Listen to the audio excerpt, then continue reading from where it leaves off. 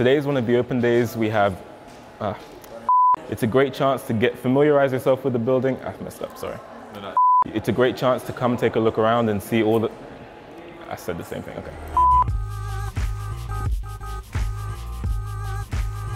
Today is one of the many open days we have here at LCC.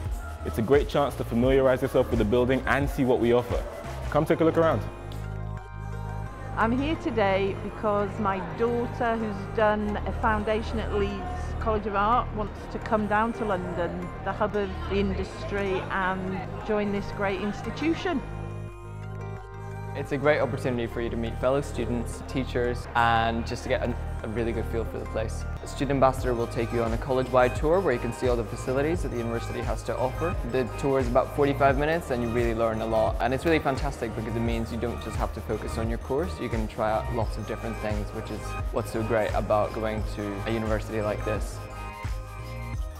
We learned about the different facilities that are available within the university. We met some of the current students, postgraduates as well, spoke about the course. It had a really friendly, welcoming atmosphere, which isn't something that I've had from every university that I've looked at, and had a really good creative feel.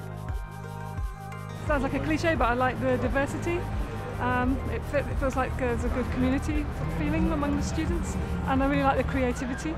The tutor that showed us around seemed like he was actually genuinely interested in individual students and making the courses work for them.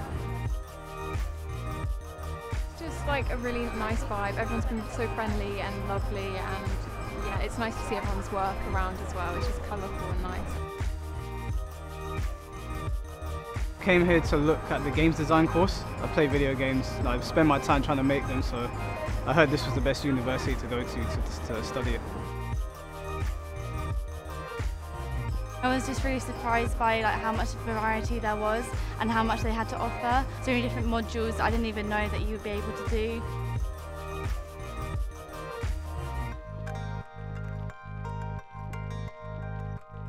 I was quite impressed by how much um, emphasis there is on the practicality of learning because a lot of courses are focused more on the theory side of it. We live in kind of a very rural area, so it's definitely a big difference to be in sort of the centre of London and see a lot of different people and a lot of different sort of cultures and perspectives and stuff.